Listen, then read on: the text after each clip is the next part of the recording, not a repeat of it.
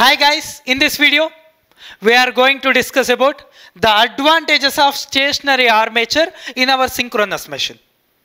First of all, generally in DC machine, rotating armature is preferable for good commutation.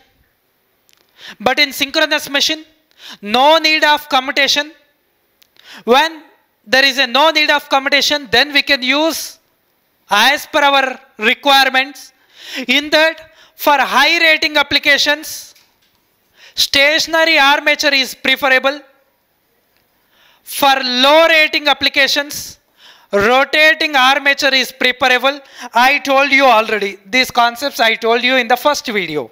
Now coming to here, what are the advantages of stationary armature for high rating applications? In that first one, for easy collection of current because generally the EMF induced in the armature winding we need to collect that current. If it is a stationary we can collect the current easily. First point. Second one easy insulation. Generally armature winding nothing but heavy voltage winding. We need to insulate. For that easy insulation will be possible. And next one if it is a stationary armature if there is no any rotating then we can make a more windings in that slots easily. For better mechanical balance mechanical balance we can easily mechanical balance because it is a stationary. If it is a rotating we need to concentrate for mechanical balancing. If the if the number of conductors more it may leads to debalance. And next one next one if it is a stationary there is a less leakage flux. There is no leakage flux or less leakage flux. If there is a less leakage flux nothing but less leakage reactance. When there is a less leakage reactance then less voltage regulation or better voltage regulation will be possible? These are the few important points. Of course the core or uh, the slot or tooth strength. Tooth strength is good.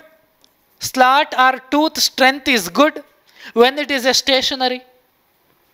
Other than that for example i am taking stationary armature and rotating armature. If it is a if it is a armature is a stationary then we need to give three phase AC supply directly to the armature. For example if it is a rotating we need to give the three phase AC supply.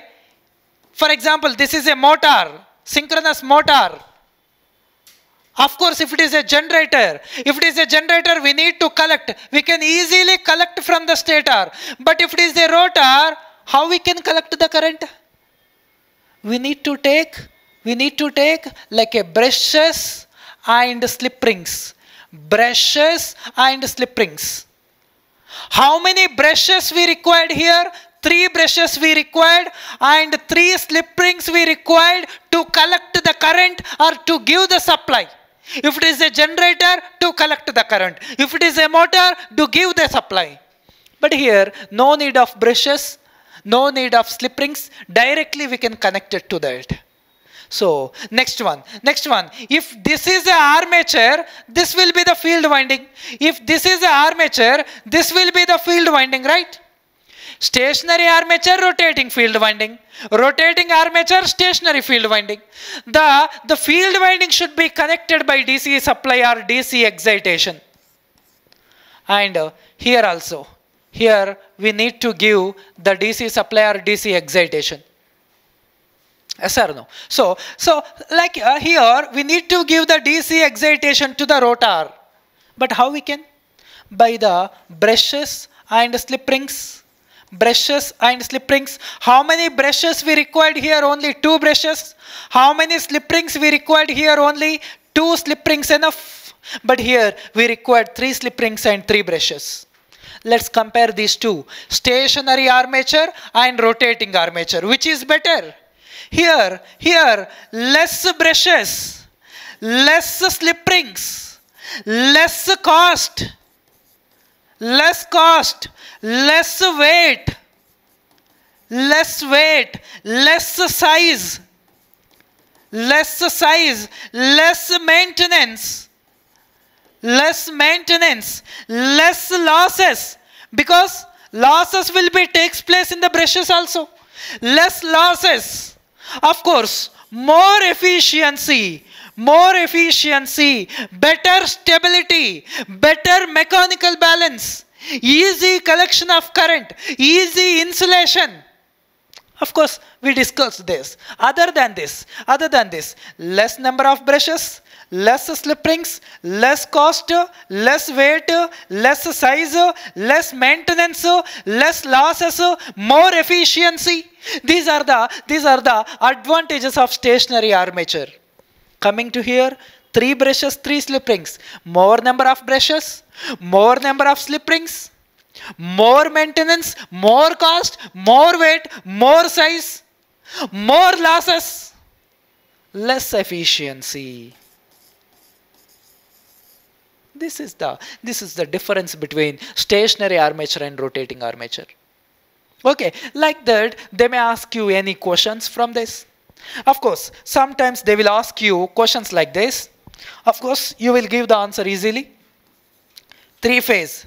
Slip ring induction motor, three phase. Squirrel cage induction motor, three phase. Stationary armature synchronous machine, three phase. Rotating armature synchronous machine, rotating armature synchronous machine.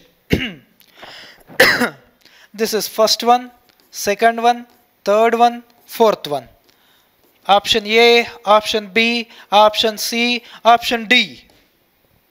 Option D. Let's see.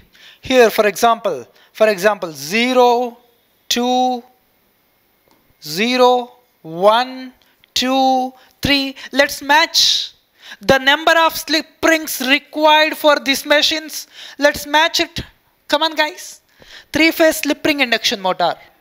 The three-phase slip ring induction motor required three slip rings. Three-phase squirrel cage induction motor Three phase squirrel cage induction motor doesn't have any slip rings. Only two end rings will be there. Three phase stationary armature. Stationary armature required two slip rings. Three phase rotating armature. Rotating armature. How many slip rings we required? Three slip rings. Three slip rings. Right? So like that. There is no use of one guys. Okay. So like that they may ask you any questions in our competitive examinations. Right? Let's go for the construction of synchronous machine